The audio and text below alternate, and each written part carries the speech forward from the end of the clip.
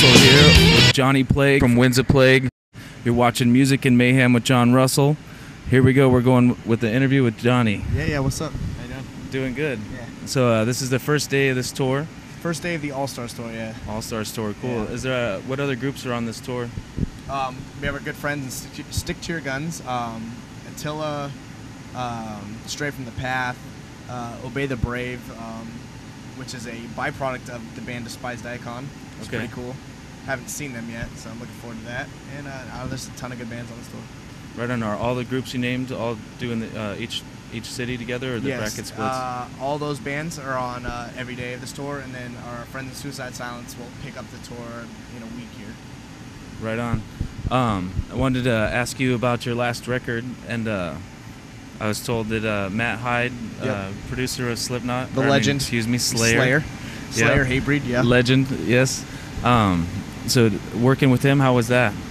It was awesome. Um, we wanted to go with him because we were such big fans of his past records that he's done, and we really like the sound and the and the uh, the energy that his records capture. You know, so we went with him, and he he's a little bit more old school than a lot of like the new Yeah. new younger guys and stuff. So we kind of. Uh, did things a little bit different, but it was awesome. It was a great, great uh, experience recording with him, and the product we're very happy with. Yeah, and you guys got a lot of the extreme heavy and the down tune and the Actually, we're strings. uh, that record was mainly in E standard. oh, really? Yes. Right on. Yes. That's pretty wild. I think Um, almost every song. I think there's two songs in drop D, but the rest are uh, E standard. So the, the album before was was in drop D. yeah, the one before drop. mainly in drop D. Yeah, because that's I, I'd seen these guys in uh, Tucson, Arizona. They were definitely dropped, and it was heavy, very, very heavy. Oh, thank you, thank you.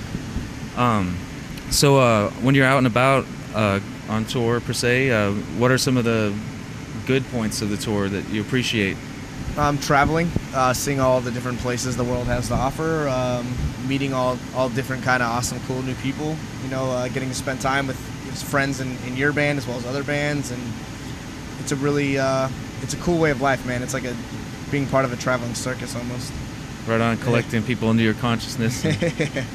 um, so when you're on tour, what are, what are some of the negatives that people might want to hear about? um, the the flip side of, of being gone all the time, obviously, is that you're not home, and uh, it can get tough. You know, sometimes you feel very like you're, you're living a very unstable life. You know, um, you're leaving friends, family, loved ones behind at home, and that can be tough. It very, you know, it weighs heavy on those kind of situations, not being home all the time. Right. Um, can't keep Arr, your arr. job for the life of you, obviously, Right. but yeah. Um, so each of the band members that you have, uh, does cer- do you get uh, more struggle, or do you feel like over, overall the whole group is on the same page?